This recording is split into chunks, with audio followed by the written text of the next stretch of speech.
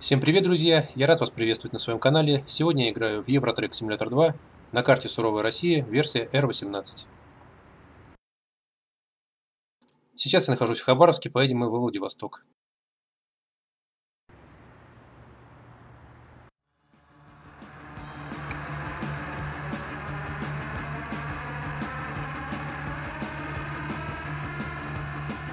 Поедем пустыми. Заплатят нам за это 400 рублей. Расстояние 41 километр.